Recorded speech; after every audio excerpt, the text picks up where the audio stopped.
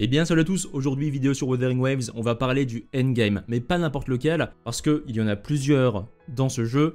On va en parler d'un précisément qui m'a conquis. J'étais pas encore trop convaincu de ce que proposait le jeu, mais le contenu en particulier m'a réellement rassuré quant à la vision de Kuro Games sur le jeu, mais aussi soulève quelques craintes, et donc parlons-en maintenant.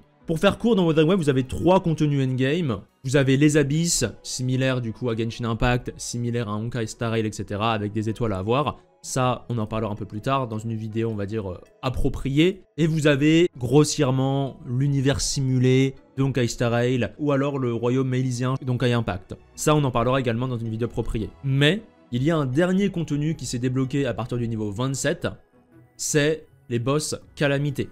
En fait, vous voyez les petites épées, il y a plein de boss à affronter. Ce sont des boss qui sont du coup des monstres de l'open world qu'on peut farmer, mais en version difficile. Et pourquoi ça m'a réellement conquis?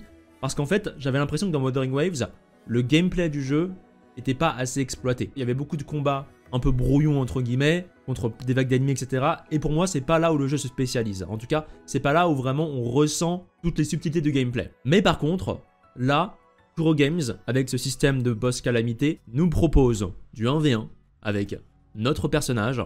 On doit pas bourriner, on doit apprendre les patterns des boss, les bons timings de parade, d'esquive, mais plus encore, et j'ai fait que la difficulté 1 et 2. Et dites-vous que chaque monstre, chaque fois qu'on augmente de difficulté, le monstre gagne des patterns. Et plus encore, à partir de la difficulté 5, le monstre va avoir ce qu'on appelle une capacité d'enragement où au bout d'un certain temps, il va être beaucoup plus fort. Il va nous one-shot grossièrement. Et ça va du niveau 50 le boss jusqu'au niveau 85 sachant que notre personnage peut être niveau 90 maximum. En plus de ça, avec ce mode-là, on peut acheter du coup des invocations, des artefacts légendaires. Avec cet ajout-là, ça montre que Pro Games n'ont pas peur d'ajouter un contenu exigeant. Mais j'aimerais quand même faire une petite parenthèse. Là, c'est exigeant parce que faut bien apprendre les patterns des boss et aussi parce que mes personnages ne font pas mal. Si je vous montre du coup un de mes personnages, je suis niveau 50, j'ai une arme bleue, j'ai des échos vraiment euh, améliorés n'importe comment, donc ça c'est un peu les artefacts du jeu. Donc évidemment que peut-être plus tard on va les détruire. Je ne sais pas, je n'ai pas encore affronté les derniers. Mais ça n'enlève pas du fait qu'il y a quand même un pattern à apprendre sur les boss avec des bons timings, à l'instar d'un Dark Souls par exemple. Et pour moi c'est très positif. Ça veut dire que avec ce challenge, avec ce type de contenu, ils peuvent évoluer. Par exemple, ajouter un mode, je sais pas moi, boss rush, euh, hebdomadaire ou alors mensuel ou même dans le futur, quand ils ajouteront des boss du coup via l'histoire, bah ajouter ce même boss en mode calamité. C'est, je prends excusez-moi encore un exemple de Genshin Impact, mais c'est comme si par exemple ils nous mettaient Tartalia dans le, en boss hebdomadaire et que après ils le rajoutaient avec 6 niveaux de difficulté, vraiment où il était de plus en plus fort avec des nouvelles attaques où il fallait avoir les timings précis et les apprendre. Et c'est ça que Kuro Games a la possibilité de proposer. Je vais vous montrer du coup sa version qu'on a dans l'open world pour farmer pour n'importe quel type de joueur. Donc il apparaît ici. Tac. Là je fais une petite esquive. Tac, vous avez vu qu'il y a quand même des trucs où on sent quand on esquive, hein, c'est intéressant. Là vous avez vu vraiment que sa barre de stagger, sa barre d'étourdissement, sa barre blanche en toute sa barre d'HP se... s'enlève très rapidement quoi. Même sa barre d'HP au final, c'est très rapide. Là du coup il est stun, voilà. Là, vous avez vu finalement que bah, il est quasiment mort. là, je swap sur du coup ma encore. Ma encore, c'est ma petite fille avec les, euh, les cheveux roses. Et Kalcharo, Kakarot, comme j'ai bien l'appelé, c'est celui avec les cheveux blancs. Et du coup, c'est très simple. Voilà, c'est très simple. J'ai même mal joué, j'ai fait n'importe quoi. Et pourtant, c'est passé. Maintenant, voyons voir du coup sa version calamité. Vous allez voir la différence entre un simple boss d'open world et un boss de calamité difficulté 2. Il est beaucoup plus tanky, que soit du coup sa barre de points de vie, sa barre de stagger, d'étourdissement, qui est du coup la barre blanche en dessous sa barre de, HP. Et il y a des moves comme ça. Là j'aurais pu pari, j'ai fail, c'est une parade. J'aurais bien aimé vous le montrer mais j'aurai l'occasion de le refaire. Hop. C'est un nouveau pattern. Hop, donc là mon but ça va être aussi de swap avec mes persos pour euh, monter la barre de stagger, attention. Là faut esquiver, faut esquiver, faut esquiver. Tac. je pense vraiment que c'est dans ce mode là que le jeu prend tout son sens. Le mode vraiment 1v1 contre des boss. C'est là où je ressens le plus de de gratification à faire les bonnes mécaniques, à bien respecter. Attendez, je vais faire la parade là pour vous montrer à quoi ça ressemble.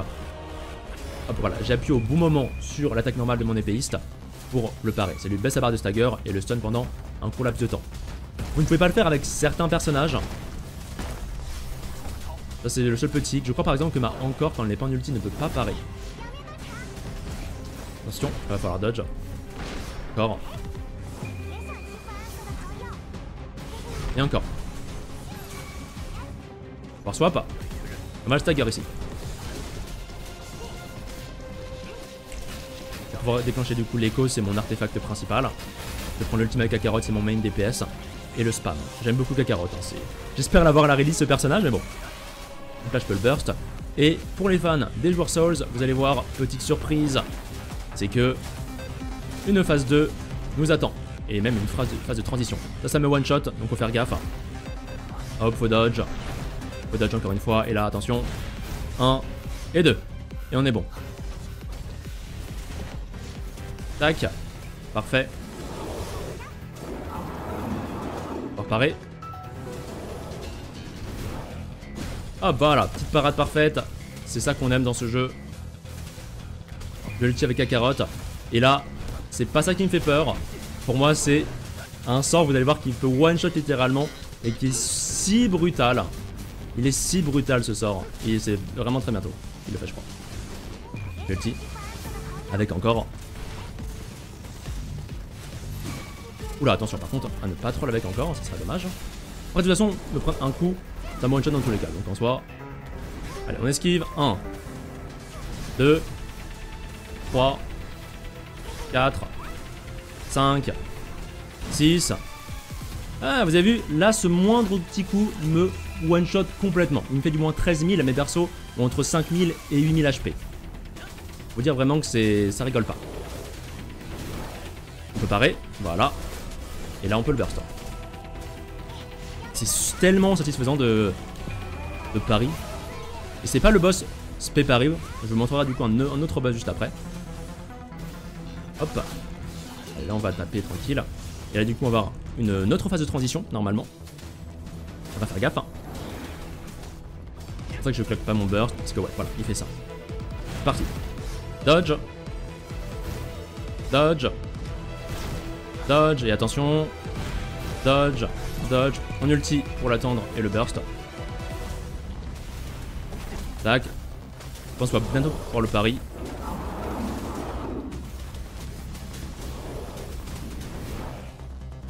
Hop, voilà, on l'a pari parfait. Nice. Et là, on peut esquiver. Tac. On a dodge ici. On va bien, on a redodge ici. La caméra des fois fait un peu des siennes. J'aimerais bien qu'elle se positionne plus facilement. Mais c'est le seul petit reproche que j'ai à faire. Attention, oula, j'ai pas dodge. My bad. J'ai repas dodge. Oula, attends, attends, là, là, là, ouais. Ok, c'est pas grave. Pas dodge. On dodge. On va dodge. Encore. Encore. Décidément. Décidément, décidément. Là, vous avez niveau timer, euh, c'est chaud quand même. Hein. C'est chaud, c'est chaud. On va ulti avec encore et, le taper. Ah, non, je vais parer là. Voilà, parfait. Ah, mais encore peut pas parer, je crois. En tout cas, j'ai pas réussi avec. Et là, ça devrait tomber. Parce que là, il va tomber à terre. Je me mets en ulti. On le finit. Évidemment, avec du stuff, ça passera mieux. En tout cas, les dégâts, ma survie aussi. Euh, quoique la survie, en fait, je sais pas trop. Hein. Et le timer, là, c'est short. Hein. Mais ça passe.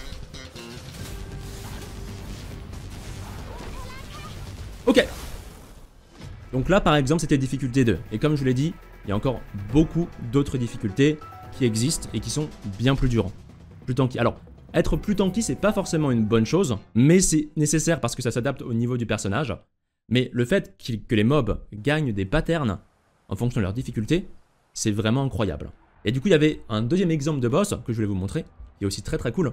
Ah, ici, du coup, j'ai pris euh, le personnage principal, parce qu'en fait, il a de la résistance foudre.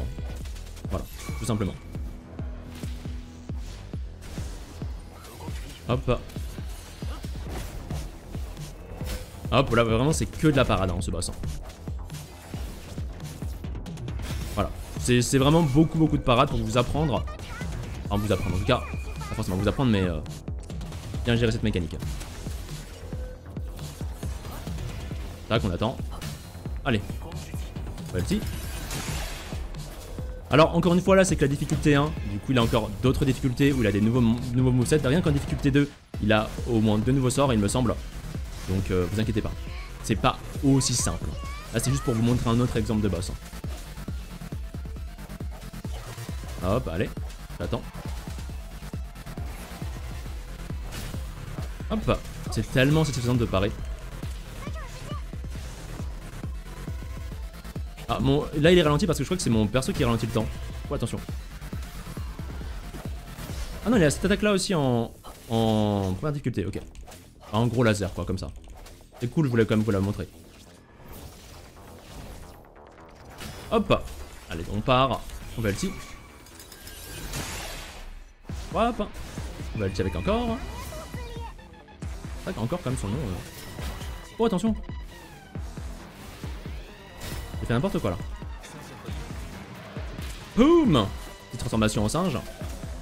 Ça c'est mon écho. Attends. Oh mince Bah dis donc. Décidément.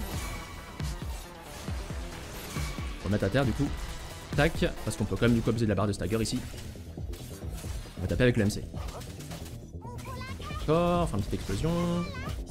On va avec notre MC la parade, j'arrive. Nickel. Ouf On va le refaire. Je pense qu'il va nous, nous faire un petit coup, une petite danse là, non? Oui. Voilà. Parfait. Et du coup, vraiment, ça, je trouve que ça... Oh, Ça montre bien le gameplay du jeu parce que ça nous évite de spammer comme un, comme un dégénéré, comme bah, sur d'autres modes, je trouve. Ah, mais encore peu parer, c'est vrai, en ulti. C'est vrai ça. Et tu vas le refaire une dernière fois, on va l'attendre, pas de soucis. Hop, allez. Là, petit coup de bâton, de bout de bois. Ah, ah Je croyais qu'il allait se mettre à terre. Oh, attention à ce laser qui vous a peut-être détruit les yeux, je sais pas. allez, hop. Voilà, donc c'était un exemple de fight qui est différent. Il va plus se baser sur la pari. Mais pour moi, comme je vous l'ai dit, ça illustre extrêmement bien les mécaniques du jeu. La parade, l'esquive, le 1v1. Il y a une multitude de boss comme ça dans l'open world qui vont vous faire du challenge et des récompenses. Personnellement, moi je n'ai absolument aucun problème vis-à-vis -vis de ce genre de contenu. Parce que je suis pour la difficulté, pour que ce soit de plus en plus dur. Pour ce genre de boss, c'est vraiment ce que j'adore, étant du coup un gros joueur de Souls. Et je trouve que ce jeu arrive bien à capturer ce qui me plaît justement dans un Souls, en tout cas dans les affrontements de boss, d'un Dark Souls, ou Elden Ring, peu importe. Et j'aimerais même que Kuro Games capitalise là-dessus et propose dans le futur du contenu encore plus dur. Parce que je me demande si, justement, une fois qu'on sera pas high-end game, donc niveau 90, avec des échos légendaires, des artefacts légendaires, si ça va pas être du coup trivial. A aussi le fait que je crois qu'une fois qu'on les a, qu'on les a clear une seule fois, c'est fini. Donc est-ce que, comme je l'ai dit plus tôt dans la vidéo, on aura un contenu qui se, va se baser autour de ça? Mais également, j'aimerais apporter une dernière réflexion. Si jamais ils vont dans ce sens-là, est-ce que cela ne va pas frustrer un bon nombre de joueurs? Wuthering Wave, c'est un jeu qui est un gacha game, qui veut attirer beaucoup de gens. Ça se voit du coup dans les abysses, ça se voit avec l'univers simulé, ça se voit avec le contenu dans l'open world, c'est facile. En tout cas, les abysses peut-être pas, je peux aller très loin, mais je veux dire, c'est beaucoup plus simple que les boss calamité. L'univers simulé, c'est très simple aussi, d'après ce que j'ai pu tester. Le monde également. Donc ça se voit finalement que c'est vraiment les boss de calamité qui ont été adressés pour les joueurs qui voulaient tryharder à fond, en tout cas qui voulaient avoir du gros challenge. Mais moi, ma seule crainte que j'ai, mais qui à la fois est compréhensible, c'est qu'il laisse uniquement ses bases calamités et qu'il n'en rajoute pas après et qu'il ne rajoute pas du contenu encore plus dur. Ça serait mal pour moi, parce que bah, j'aimerais bien avoir encore plus ce genre de contenu qui fait que pour moi Wuthering Wave se démarque de ses concurrents, mais à la fois le faire ferait que ça rendra inaccessible ce contenu-là à des joueurs qui n'ont pas le temps ni l'envie ou juste bah, ne peuvent pas faire ce contenu. Et il y en a beaucoup. Faudra voir un peu comment Kuro Games vont trancher. Est-ce que du coup ce contenu n'est pas trop dur pour beaucoup de joueurs. Beaucoup de joueurs qui jouent au gacha, qui jouent donc à Genshin, qui vont jouer à Wuthering Wave à la sortie, etc., sont pas des joueurs qui ont envie de se prendre la tête avec ça. Ce contenu calamité n'est pas pour tout le monde. Il est adressé à une petite partie de joueurs. Et en ce sens, n'est-il pas trop dur Et en rajouter, ça serait peut-être pas de se tirer une balle dans le pied, en privilégiant du coup une minorité un peu trop tryhard, et délaisser du coup une majorité qui vont pas forcément se préoccuper de tout ça. Bien sûr, on verra, mais là pour l'instant je suis satisfait, parce que le temps qu'à la sortie officielle, je monte de niveau et que je fasse chacun des boss en difficulté 1, 2, 3, 4, 5, 6, ça va m'occuper et me faire vraiment plaisir. Et c'est là pour moi où Wuthering Wave a réussi à se démarquer. C'est pas dans les abysses, c'est pas dans l'open world, c'est pas forcément dans le gameplay contre plein d'ennemis, ni dans l'univers simulé, ni dans les quêtes. C'est vraiment dans ces boss de calamité. Avoir le parti pris que Kurogame choisira. Est-ce qu'ils arriveront à faire un jeu pour tout le monde? Mais est-ce qu'un jeu pour tout le monde existe? Ça, je ne sais pas, on verra du coup la sortie officielle. Mais c'est ce qui a fait remonter dans mon estime le jeu, bien que, attention, je le déteste pas et je ferai une vidéo première impression une semaine après. J'aime bien le jeu, mais j'ai trouvé beaucoup de choses un petit peu génériques. Et là, pour le coup, j'ai trouvé enfin que Wuthering Wave exploitait son gameplay à son plein potentiel. N'hésitez pas à me dire ce que vous en pensez. Je mettrai, je pense, mes combats contre les difficultés supérieures sur ma chaîne secondaire, No Cap Clip. Et d'ailleurs, je mets d'autres trucs sur Wuthering Wave sur, cette, sur ma chaîne secondaire si ça vous intéresse. Le lien est en description. Et moi, je vous dis à la prochaine. Portez-vous bien et à plus.